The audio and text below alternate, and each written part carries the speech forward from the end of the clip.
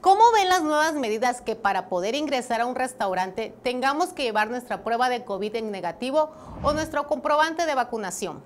De acuerdo a las autoridades de salud, se han registrado un acelerado incremento en los últimos días de caso de COVID. Se ha llegado a la cifra del 40% de contagios en el estado, por lo cual el gobernador Carlos Joaquín González anunció las nuevas medidas sanitarias para frenar esta ola de contagios en Cancún Playa del Carmen, Cozumel y Chetumal.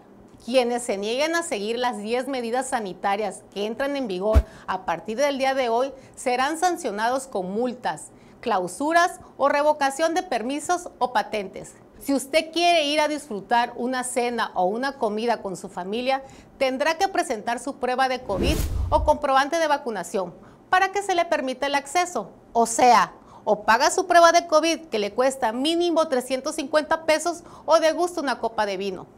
Si usted llega después de las 10.30 de la noche a un restaurante, se le podrá negar la entrada, pues a partir de hoy el cierre de los establecimientos será a las 12 de la noche. Además, los locales deberán contar con filtros purificadores de aire, y medidores de dióxido de carbono para medir la calidad del aire cuando los espacios sean cerrados.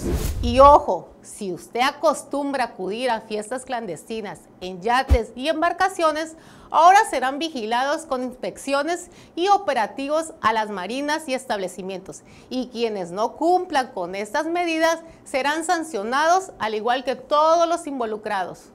Todas estas acciones son para que la sociedad tome conciencia ya que la población ha relajado las medidas ante la enfermedad, creyendo que con la vacuna ya no van a contagiarse y han dejado de tomar las medidas correspondientes para evitar contagios.